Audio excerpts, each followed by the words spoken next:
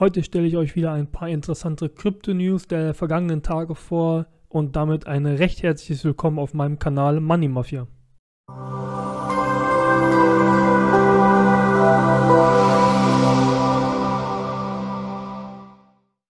Ihr wisst, dass es wie immer auf meinem Kanal hier keine Anlageberatung ist. Gilt wirklich lediglich der Unterhaltung und vielleicht für Bildungszwecke. Und damit gehen wir direkt ins Video rein.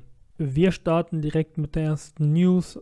Wieder eine Sportnews. Ihr wisst, ich bin ein großer Sportfan. Und zwar gibt es in Amerika das Football-Team, das American Football Team, die Denver Broncos. Und die stehen momentan zum Verkauf und da wird momentan eine DAO aufgebaut. Das hatten wir ja schon im letzten Video unter anderem, was das ist. Also eine dezentrale, autonome Organisation, wo jeder dran sich beteiligen kann und die wollen tatsächlich dieses Team für 4 Milliarden Dollar kaufen. Das wäre dann auch tatsächlich das höchstbewertete DAO, was jemals existiert. Aber das Projekt ist im Aufbau und es wäre natürlich extrem spannend, weil momentan ist es ja nur Venture Capital möglich, so eine Teams zu kaufen oder wirklich großen Investoren. Von daher ist es hier natürlich ein super spannendes Thema, dass auch Fans sich daran beteiligen können und man eben einen ganz kleinen Anteil oder vielleicht auch einen größeren Anteil an dieser Organisation, an diesem Footballteam eben besitzen kann. Wir gucken uns gleich die nächste spannende News an und zwar gibt es in Mexiko Pläne, dass der Bitcoin als Legal Tender eingeführt wird. Also analog zu dem, was wir aus El Salvador ja schon kennen. Und im Gegensatz zu El Salvador ist ja Mexiko ein Riesenland, extrem viele Menschen, die dort wohnen und auch, ähm, ja, sag ich mal, um dort zu wohnen, ein bisschen attraktiveres Gebiet. Von daher ist es ein extrem spannender Zug. Auch hier wieder die Ähnlichkeit zu El Salvador. Viele Mexikaner wohnen und arbeiten nun mal in Amerika und um dieses Geld eben hin und her zu schicken, macht es das natürlich extrem interessant.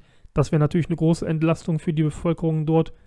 Und wie gesagt, Mexiko als Land extrem attraktiv. Wir haben auch gleich noch eine spannende News zu El Salvador. Aber das würde natürlich auch vielen Touristen ermöglichen, jetzt nicht irgendwie das Geld umzutauschen, was auch immer, sondern einfach ja, nach Mexiko zu gehen und dann dort überall mit den Bitcoins, die wir sowieso schon besitzen, eben auch zu handeln. Letzte Woche hatten wir uns auch schon angeguckt gehabt, das Metaversum, hier wieder einige große Unternehmen, die ins Metaversum einsteigen wollen. In diesem Bericht wird vor allem auf SAP eingegangen. Das kennen wir ja, deutsches Unternehmen, relativ interessant, haben jetzt noch nicht genau die Pläne kommuniziert, aber auf jeden Fall schon mal kommuniziert, dass sie da einsteigen wollen.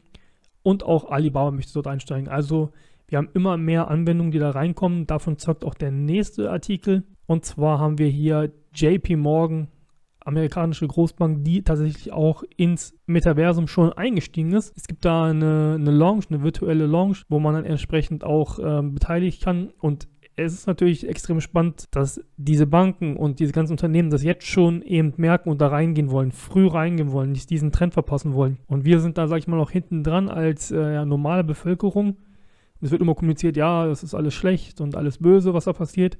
Aber die bereiten das jetzt schon alles so vor und wir haben jetzt noch die Möglichkeit, möglicherweise reinzukommen in diesen Space und nicht den Großmächten da das Feld zu überlassen. Und wir haben, wie gesagt, jetzt noch die Möglichkeit, diese Vermögensumverteilung einfach zu erleben. Aber wer weiß, wie lange dieses Fenster dann noch offen ist.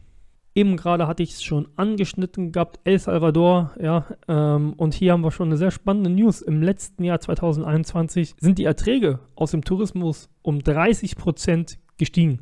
Und das ist natürlich extrem spannend. Viele Leute kommen dorthin, um sich das anzugucken, aber natürlich auch viele Leute gehen dahin, um natürlich dann auch mit ihren Bitcoins zu bezahlen. Also es ist ein super spannender Case. Für mich wäre es auch eine, eine super spannende Möglichkeit, dort mal hinzufahren. Das ist momentan natürlich mit Corona ein bisschen äh, kompliziert, ein bisschen schwierig. Ähm, ich bin ein bisschen vorsichtiger eher. Aber wenn sich das alles ein bisschen gelegt hat, kann ich mir das sehr gut vorstellen und finde ich, fände ich wirklich ein sehr interessantes Experiment, ob man es da wirklich schaffen kann, überall mit Kryptowährungen bzw. mit Bitcoin zu bezahlen.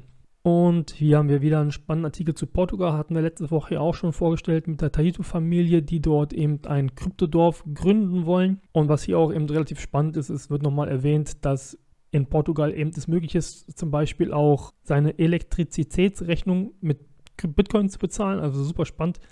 Aber es ist auch ein großer Anstieg von ATMs zu verzeichnen, wo man dann eben seine Euros oder welche andere Währung man auch hat, dann eben auch in Bitcoin umtauschen kann. Also es scheint da wirklich ähm, eine sehr fortschrittliche Gemeinde zu sein. Und der letzte Artikel hat natürlich einen etwas traurigen Hintergrund. Wir haben ja diesen Konflikt in der Ukraine momentan und hier wird auch eben verzeichnet, dass eine der größten Kryptobörsen in der Ukraine das Handelsvolumen sich verdoppelt hat innerhalb von kürzester Zeit. Ist natürlich relativ verständlich. Ja, viele Leute probieren auch momentan aus dem Land rauszukommen. Die Währung verliert extrem an Wert und dann macht es ja nur Sinn, sozusagen das in eine unabhängigere Währung umzutauschen, die Möglichkeit eben auch zu haben, ins Ausland zu transferieren. Und in Anbetracht der ganzen Tatsachen, die momentan passieren, also Sanktionen, egal von welcher Seite die jetzt kommen, Möglichkeiten nicht mehr in bestimmte Aktien zum Beispiel zu investieren, weil möglicherweise Ausschlüsse passieren, was auch immer da momentan geplant ist, weil im Endeffekt am Ende des Tages sind wir alle irgendwo Menschen, ja, und diese Sanktionen auf ho hoher politischer Ebene, die schaden den Politikern jetzt am wenigsten, ja, das, sondern das ist wirklich, das sind Schäden für die Leute. Und vor allem jetzt in den letzten Tagen ist mir einfach nochmal relativ klar geworden, eine wirklich unabhängige Möglichkeit, sein Geld einfach zu parken, anzulegen, damit Zinsen zu verdienen, was auch immer, ist tatsächlich aus meiner Sicht fast nur Bitcoin ja, prädestiniert auf jeden Fall dafür, weil es gibt keine Instanz, die das verbieten kann. Der Zugang ist jedem ermöglicht.